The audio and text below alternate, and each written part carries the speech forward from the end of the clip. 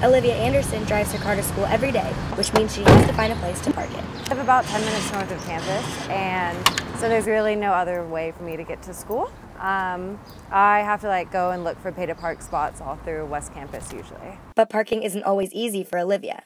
I don't always get back to my car in time, and so I'll come back and have a nice 20 to 30 dollar ticket occasionally. With construction at an all-time high in West Campus, finding parking can be difficult.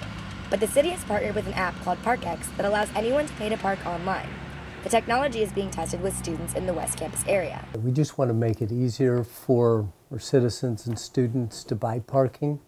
And this is another way for people to be able to buy parking that's a little bit more convenient for them.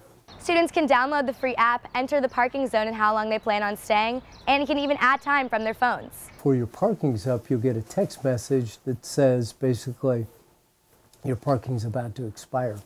So from your cell phone, and this is anywhere in the city, you can add parking on to uh, you know additional parking so you won't get a parking a $20 parking ticket. Students like Olivia welcome the change. It's really nice because I can add time whenever I need it. So if I'm running a bit late or if I need to go meet with a teacher after class, um, I don't have to worry about my parking because I can just add the time until I get back.